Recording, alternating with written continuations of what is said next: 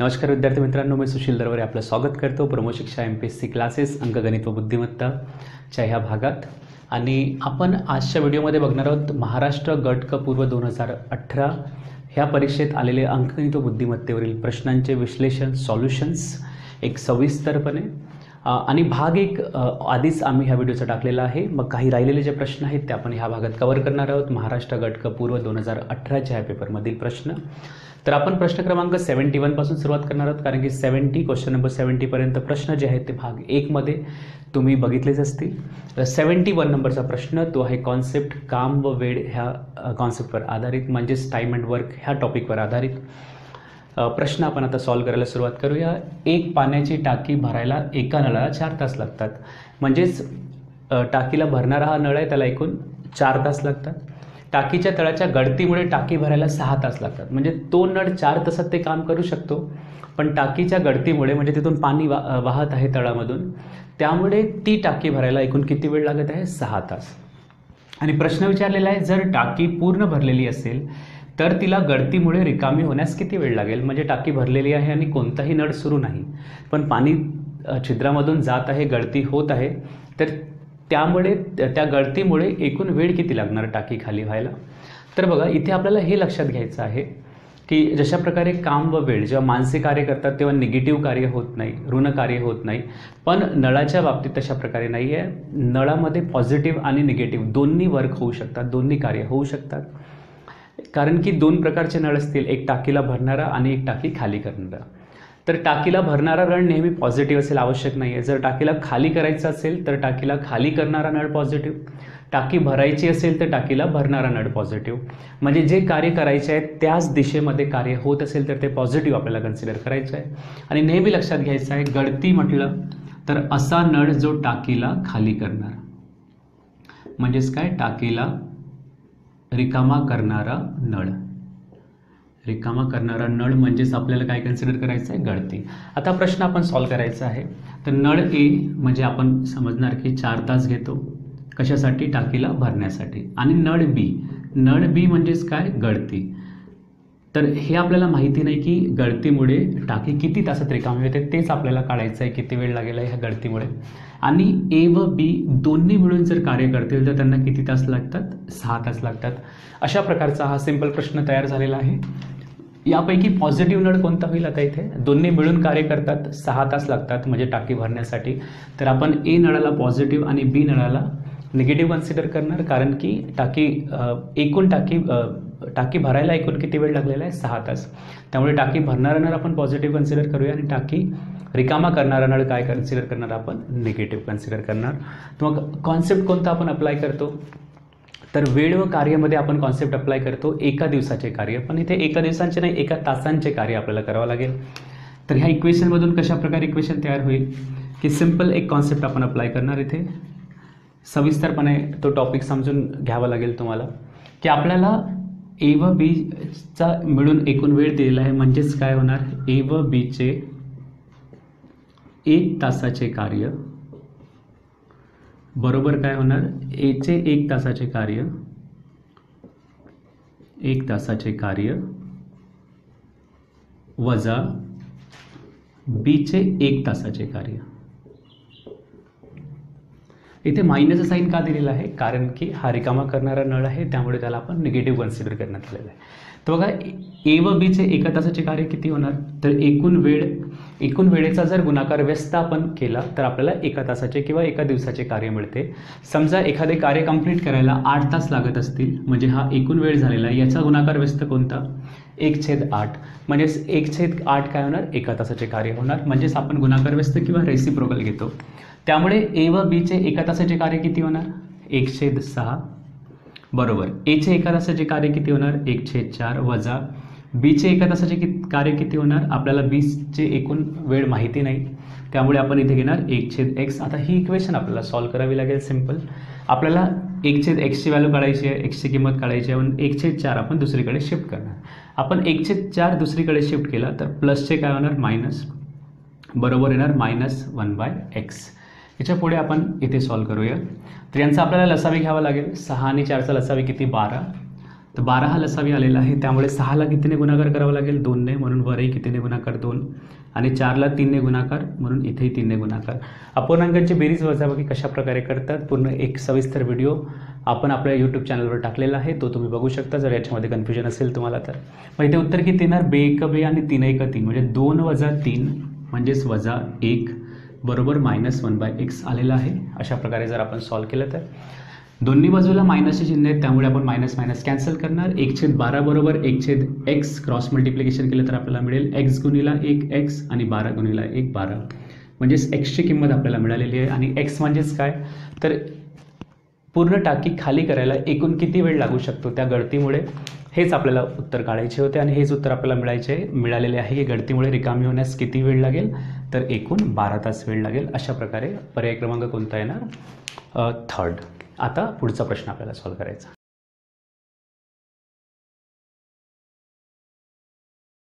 आता प्रश्न क्रमांक सेवन्टी टू आपल्याला सॉल्व्ह करायचा आहे. सेवन्टी टू हा प्रश्न आहे टाईम अँड डिस्टन्स म्हणजे अंतर वेग ह्या टॉपिकवर दोन जहाजे ए व बी हे एकमेकांपासून एकशे पंचावन्न सागरी मैल अंतर असलेल्या दोन बेटांवरून प्रवास सुरू करतात. म्हणजे दोन वेगवेगळी बेटे आहेत बेट आहेत. आणि त्यावरून ए व बी हे जा जहाज जे आहेत ते प्रवास सुरू करतात. आणि त्यांच्यामधील अंतर किती आहे? एकशे पंचावन्न सागरी मैल. जहाज ए हे बीच्या पश्चिमेला असून ते पूर्वेकडे प्रति तास पंचवीस सागरी मैल या वेगाने प्रवास सुरू करतात. हे महत्त्वाची गोष्ट आहे. जहाज ए हे बीच्या पश्चिमेला आहे. तर बघा हा बी आणि हा जहाज ए यांच्यामधील अंतर किती? एकशे पंचावन्न मीटर. अशा प्रकारे एकशे पंचावन्न सागरी मैल हे आपल्याला अंतर माहिती आहे कारण की पहिल्या याच्यामध्ये दिलेलं आहे. तर ही खूप महत्त्वाची इन्फॉर्मेशन आहे कारण की इथूनच आपल्याला त्यांना हलवायचं आहे की ते कोणत्या दिशेला जात आहेत किती वेगाने जात आहेत. तर यांच्यामधील अंतर आपल्याला मिळालेलं आहे एकशे पंचावन्न सागरी मैल. आणि काय म्हटलेलं आहे? जा जहाज ए हे पीच्या पश्चिमेला असून ते पूर्वेकडे प्रति तास पंचवीस सागरी मैल. म्हणजे पूर्वेकडे म्हणजे जहाज ए ह्या दिशेला प्रवास सुरू करत आहे किती वेगाने? प्रति तासाला पंचवीस सागरी मैल. त्याच वेळेस जहाज बी हे दक्षिणेकडे प्रति तास वीस सागरी मैल ह्या वेगाने प्रवास सुरू करत आहे. म्हणजे बी कुठे प्रवास सुरू करणार? दक्षिणेकडे म्हणजे डाऊनवर्ड डायरेक्शनला हे प्रवास सुरू करत आहे. आणि त्याचा वेग किती आहे? वीस सागरी मैल या वेगाने प्रवास सुरू करते. तीन तासांच्या प्रवासानंतर त्या जहाजांमधील अंतर किती? तर तीन तासामध्ये त्यांनी किती अंतर कापलेले आहे हे आपल्याला लक्षात घ्यावं लागेल.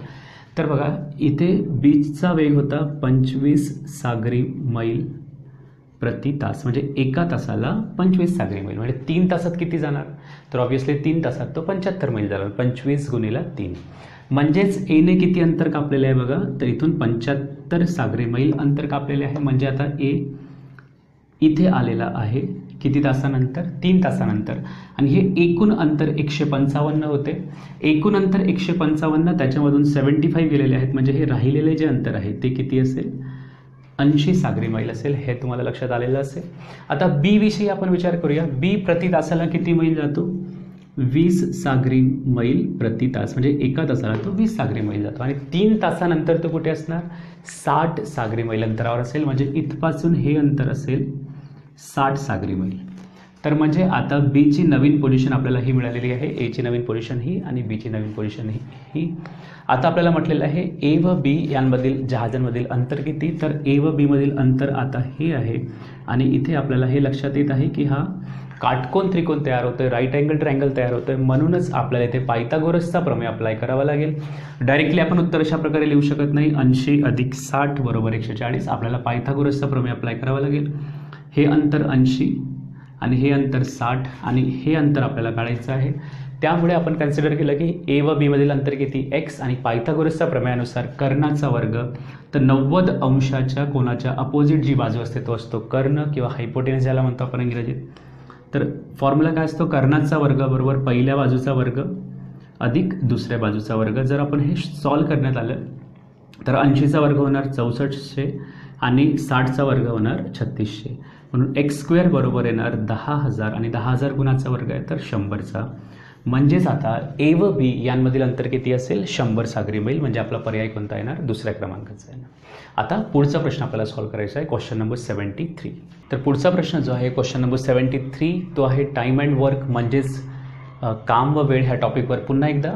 तर हा सेवन्टी थ्री नंबरचा प्रश्न आपण आधी एकदा वाचून घेऊया. वीस मजूर रोज सहा तास काम करून पंधरा दिवसात पूर्ण करतात. म्हणजे मजुरांची संख्या दिलेली आहे दिवसांची संख्या दिलेली आहे आणि तासांची संख्या दिलेली आहे.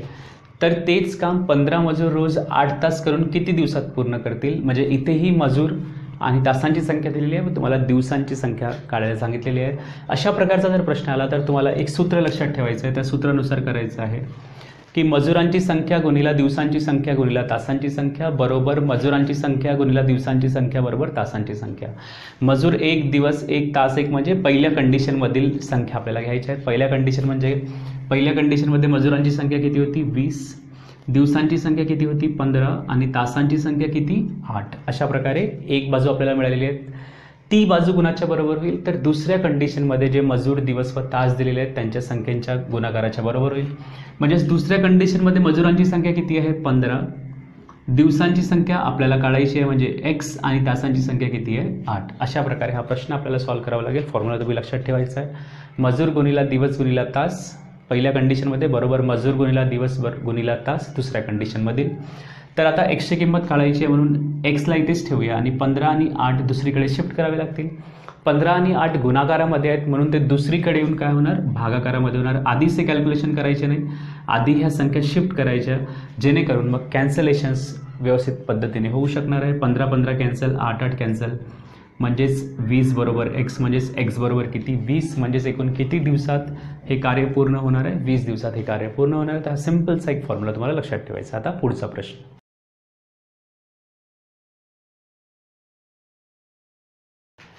तर पुढचा प्रश्न आहे तो आहे चलन ह्या टॉपिकवर आधारित समचलन आणि व्यस्त चलन अशा प्रकारे दोन कॉन्सेप्ट आहेत. समचलन म्हणजे काय? तर एक संख्या वाढत असेल तर दुसरी संख्याही वाढते आणि एक कमी होत असेल तर दुसरी संख्याही कमी होते. व्यस्त चलन म्हणजे काय?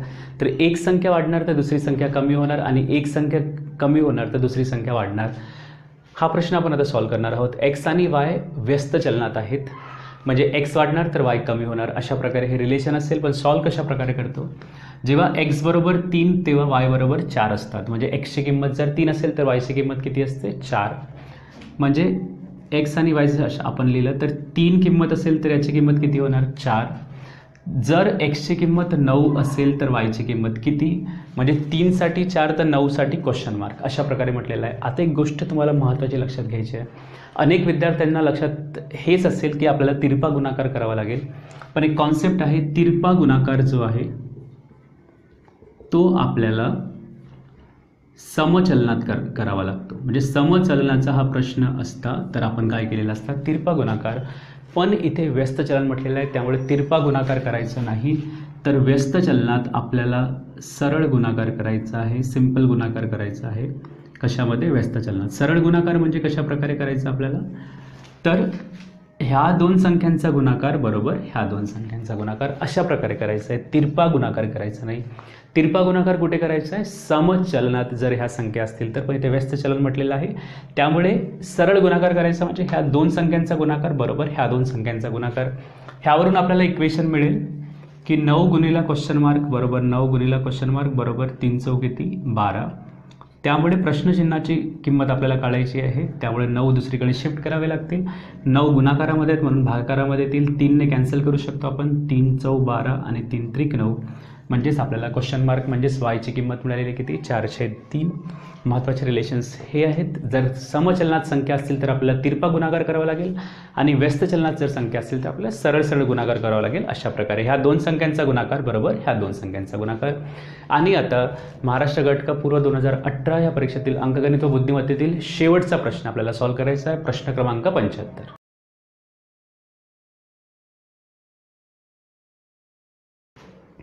तर विद्यार्थी मित्रांनो प्रश्न क्रमांक सेवन्टी फाईव्ह खूपच महत्त्वाचा टॉपिक ज्याचे महत्त्व आता वाढत चाललेलं आहे. तो म्हणजे ॲलिगेशन अँड मिक्सचर ह्या टॉपिकमधून आहे मिश्रणे ह्या प्रकारातून आहे.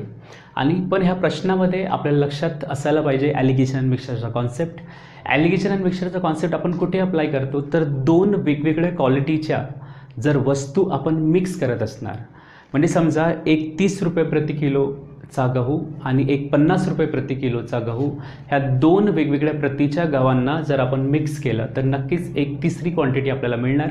आणि तिची किंमत किती असणार? तीस ते पस्तीसच्या दरम्यान असणार. कारण की आपण मिक्स कुणाला करतोय? तीस आणि पन्नासला. तर ऑब्वियस आहे आपल्याला किंमत कुठे मिळेल? तीस ते पन्नासच्या दरम्यान मिळेल. कोणतीही ती किंमत मिळू शकते.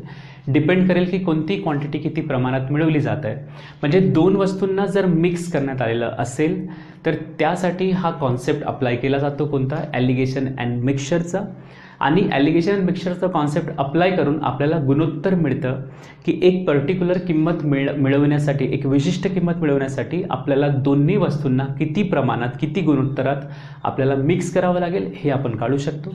अशाच प्रकारचा हा प्रश्न आहे. काजूची किंमत प्रति किलो किती दिलेली आहे? हजार रुपये. तर पिस्त्यांची किंमत प्रति किलो किती रुपये आहे? बाराशे रुपये आहे. म्हणजे एक वस्तू एका वस्तूची किंमत हजार रुपये प्रति किलो दुसऱ्या वस्तूची किंमत बाराशे रुपये प्रति किलो. जर काजू व पिस्त्यांचे मिश्रण म्हणजे मिश्रित करण्यात आलेले आहेत दोन क्वांटिटीज दोन क्वालिटी ज्या आहेत त्या मिश मिक्स करण्यात आलेल्या आहेत. एक हजार रुपये प्रति किलो आणि एक बाराशे रुपये प्रति किलो. म्हणजे नक्कीच जे मिश्रण असेल त्यांची किंमत कुठेतरी यांच्यामध्येच असेल. आणि हे पुढे दिलेलं आहे.